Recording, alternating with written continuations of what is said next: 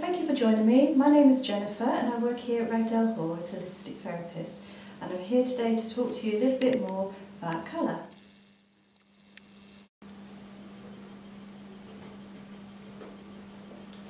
New to Ragdale Hall is the colour reading treatment that is 25 minutes long. Colour reading uses the ancient art of numerology with colours. This treatment explains the many traits of your personality and will reveal which colours can bring harmony to your strengths and weakness. A prescription of colours that's given for you to use at home in your everyday life. Here I'm going to just talk you through some of the colours and what they mean. So for example, red. Red is the colour that brings you strength and, and courage. It's the colour of abundance, the colour of life.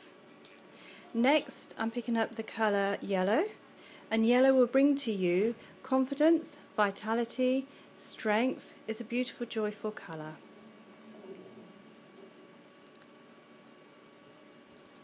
Now I'm picking up the colour green and green will bring you relaxation, tranquility and healing. It brings healing to the heart. Next is the colour orange.